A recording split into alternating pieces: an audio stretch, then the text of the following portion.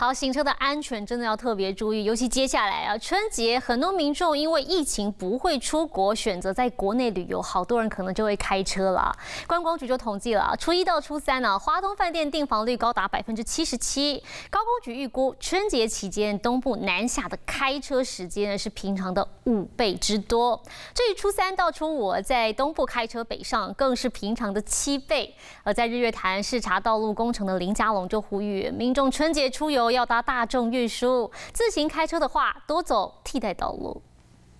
塞塞塞，到哪都在塞车。每年春节东部旅游人数增加，塞车严重。今年更因为疫情，民众都在国内过年，华东订房率已经高达百分之七十七，前往东部的车会比往年还要多。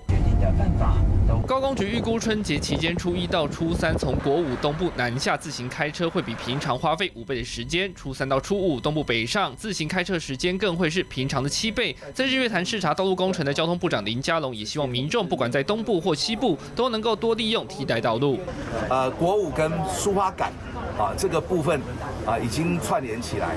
那另外从南回公路啊到东部啊也是一个路线，所以。整个台湾环岛不一定要只从北部或从好，也可以从南部。那你走西部的话，啊，你也你也可以考虑到分流。由于春节期间国道五号会实施大客车优先通行措施，林佳龙也呼吁民众多搭大众运输，估计会比自行开车节省将近三十分钟以上的时间。而新闻五连，你品行周大祥综合报道。